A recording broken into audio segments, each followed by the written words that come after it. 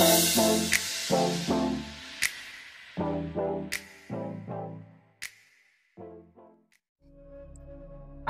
warahmatullahi wabarakatuh. Halo semuanya, kembali lagi di channel Remake. Yap.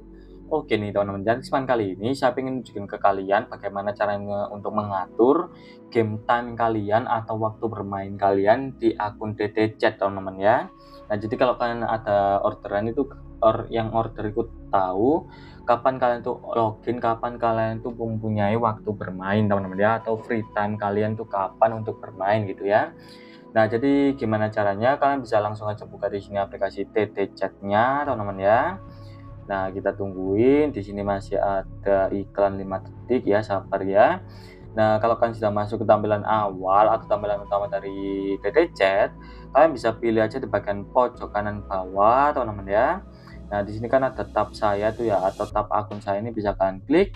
Nah, kalau kalian sudah masuk ke tampilan profil kalian seperti ini, kalian bisa pilih aja di sini ada tombol edit teman-teman ya. Nah, kalian klik aja tombol edit dan di sini ada yang dinamakan dengan game time teman-teman ya. Nah, ini tuh bisa kalian ubah dan bisa kalian sesuaikan sendiri. Kalian tuh pengen loginnya itu kapan aja teman-teman ya. Nah, di sini ada beberapa game time. Nah, ada pagi, siang, eh, sore, malam teman-teman ya. Atau kalian juga hanya bisa memilih tiga. Jadi saya pilihnya itu pagi sore dan juga tengah malam seperti ini.